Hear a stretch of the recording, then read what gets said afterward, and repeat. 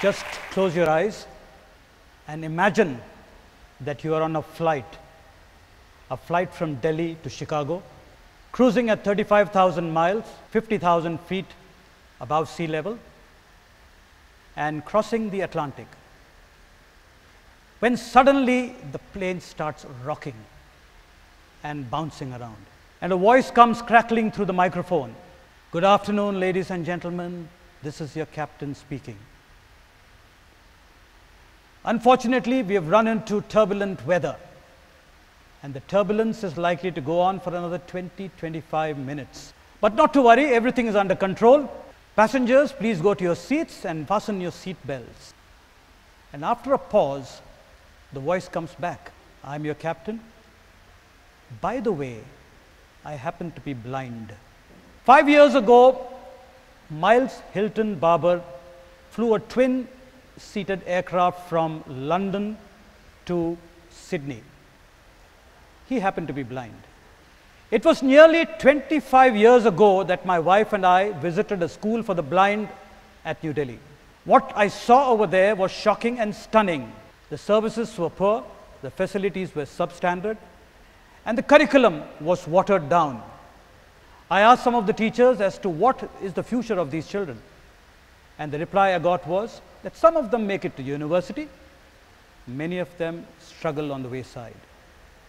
That is when I realized, ladies and gentlemen, that I was fortunate, I was blessed. I was born into a family where my parents saw my potential and invested in me, gave me great education, gave me all the opportunities that were required that got me to where I am today. I made a decision that day I told myself that I'm going to take time out of my life to do things and work with people like me. I wanted to share my knowledge, my experience, my talent, my networks with people like me. I gave up my job in an advertising company. I started taking up freelance jobs, and my wife, who is a qualified horticulturist, started working. Now, to begin with, I started traveling the length and breadth of India I started meeting organizations working with the blind. I also started going to schools for the blind and spent time with people who had spent years working with the domain of life with blindness. It was during one of these journeys that I went down to Dehradun and visited the National Institute for the Visually Handicapped. And I was standing at their guest house when one morning I was woken up by the loud sound of cricket commentary. Kapil Dev moves into bowl to Sunil Gavaskar. And like a good Indian, I'm a passionate cricket lover myself. I jumped out of bed, off I went to the ground, and I saw a bunch of blind kids playing cricket, believe it or not. The bowling was accurate, the batting was skillful, the fielding was athletic, and of course, the wicketkeeper. Loud, passionate commentary, never mind the accuracy the physical training instructor later on told me that the ball was made of hard plastic with ball bearings inside. It made a rattling sound when in motion. He also told me that the game was played with a lot of audio clues that the players gave each other the batsman, the bowler, the wicketkeeper, the fielders. And these kids woke up in the morning, played cricket. Went for breakfast, came back and played cricket. Went for classes, came back and played cricket. Had lunch, came back and played cricket. Only bad light would stop play, that too because the umpires could see no more. Four things I realized at that point of time. Number one, these kids obviously enjoyed the sport and could play it. Therefore, cricket was a great platform for recreation for the blind. Number two, I'm going to take some liberty and misquote Shakespeare over here. I believe that all the world is a playing arena, and all of us are playing the game of life. It occurred to me that cricket as a game had a lot to offer the blind to teach it life skills, to give them an attitude, give them the confidence, give them the discipline. In short, it was a powerful tool for rehabilitation. Number three, when two or three people are playing cricket, crowds will be there. So, cricket, I believe, would offer a very, very powerful, effective medium to project and communicate ability to the people around. And lastly, fourthly, I saw cricket for the blind going national and international. Well, it was action time. I had found my project. I decided to promote cricket for the blind.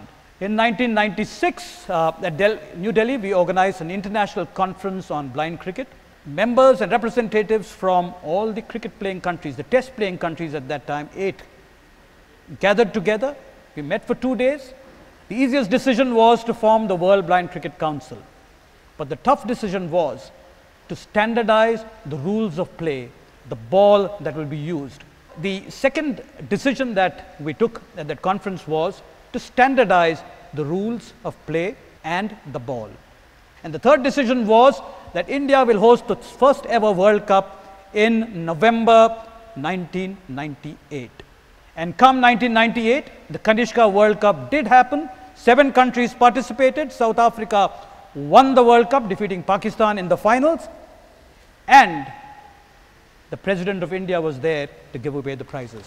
1998, we also started a second activity, workshops with visually impaired people in communication skills and personality development. We did about 45 to 50 of these workshops over the next two years. And along with the cricket and the workshops, I had the opportunity of engaging with different sections of our community, with people from the government, people from politics, people from the bureaucracy, people from the community, family members of people who are disabled and blind people themselves. And one conclusion that I drew was the real problem is not the blindness, it is way we think.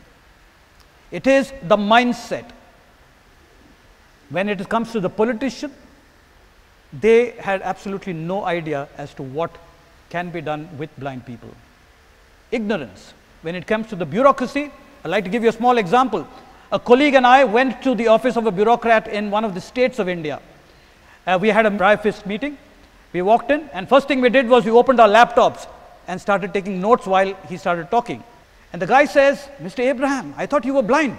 I said, Yes, I am visually impaired. I can't see. But how come you're working on a computer? So I said, There's something called screen reading software. The screen reading software enables a blind person to work on a computer the blind way, which is you gentlemen and ladies would work on a computer by looking at the screen. I would work on a computer by listening to the screen.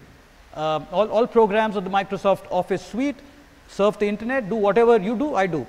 So, the bureaucrat then asks us, can this be introduced in our state? Won't the students of our universities and colleges who are blind be benefited by this? I said, sure. Now, this is not an exceptional case. This is true with many, many of the bureaucrats across the country. It is bureaucrats who work with the Social Justice and Empowerment Ministry. After spending six months, they get to know a little bit about disability. Otherwise, their knowledge of blindness, they take decisions about policy, they take decision about programs, not knowing the B of blindness or the D of disability. So, comes to the ophthalmologist. We have a help desk and we, had, we get calls from ophthalmologists. We've got two of them so far. One was a lady who called up and said, look, I have a two-year-old son. He's blind. How do I deal with his milestones? So we gave him the spiel as to what needs to be done. Then I said, what do you do, ma'am? And she said, I am an ophthalmologist, an eye doctor. There you go. So ophthalmologists are trained in delivering cataract, dealing with glaucoma, but when it comes to irreversible eye condition, they're as good or as bad as you and I. When a child is born blind, it's a mo it's moment of depression, disappointment. They do a lot of medical shopping, seeing how the eyesight can be reversed.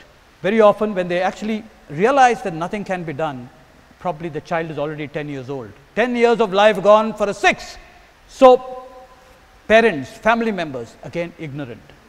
We have done so many workshops and interacted closely with them on, during cricket matches. Their knowledge levels very, very limited. The world thinks they are good for nothing. They themselves think they are good for little. So we decided to set up a knowledge resource that would address the mindset issue. We believed that it is time that we change the mindset and in the process change the conversation re related to life with blindness. Because I believe that every blind person in our country is a potential resource and they need to be invested in. I'd just like to share with you the names of a few people I met in my lifetime. When we were doing the World Cup, there was a gentleman who called me up and said, Look, uh, sir, my name is George, uh, my name is Siddharth Sharma, and I would like to come and meet you. So I said, Sure. So the guy came over and he said, we, uh, I heard the ad on television that the World Cup was going to happen in November 1998. And he said that uh, I would like to get involved. So I said, How do you lose your eyesight? So he said, I had an accident when I was 22 years old. I met with the accident. The next thing I knew, I woke up in the hospital and I couldn't see. 15 years of my life went by not knowing what to do. I am a cricket lover and I saw the ad and I'm here. So I said, Siddharth, pick up the telephone, start speaking to the media. Talk to them about the cricket event and tell them what is going to happen and that they should promote it, they should write about it. So he said, sure, and uh, he had somebody who read out the numbers. He started calling one after the other, one after the other. And then I told him, Siddharth, please go to the schools in Delhi and speak to the children about the World Cup. He said, sure, and he started doing that. At the end of the World Cup, the PR agency that worked for us came to me and says, Mr. Abraham, you know, there's this guy, Siddharth Sharma. Do you think we can offer him a job? I said, sure, please go ahead. So Siddharth Sharma joined that PR company. He worked with them for four years and then started his own PR company. And today, ladies and gentlemen, he's completed more than 10 years of public relations activity. And whenever I need PR, he doesn't do free for me. I have to pay for it. there are chartered accountants who are blind. There is Santosh Rungta, who practices in the Delhi High Court. Now, all these people are blind. But blindness has not come in the way of their progress in life and they are contributing members of the Indian economy. So, we started this knowledge resource as I told you, Eyeway. Now, Eyeway comprises of um, number one, a website. Number two, we produce a radio program which is broadcast from 30 cities of India. Number three, we have um, SMS alert service. And number four, we have um, training programs where we actually do face-to-face training with people. We have counseling services and then we also do talking books. The whole idea is to share information with people. And with the sharing of the information, suddenly we realize that people have started calling us up. We have a help desk. I would like to conclude with just one statement. The statement is, you've seen so many stories of people who have done well in life. It's time we looked at blind people as a potential resource of our country.